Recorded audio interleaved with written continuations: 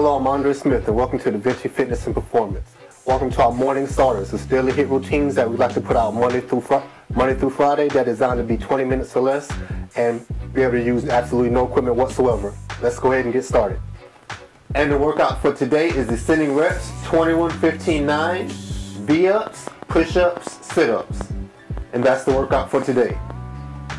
And I'm Andre Smith with Da Vinci Fitness, and as usual, Da Vinci Mafia, we don't break fingers, but we need those thumbs. So we need you to like, comment, subscribe, and most importantly, share this video, anyone you see on this channel, on Facebook and Twitter, as well as follow us on Facebook, Twitter, and Instagram. I'm Andre Smith for Da Vinci Fitness, and I'm out.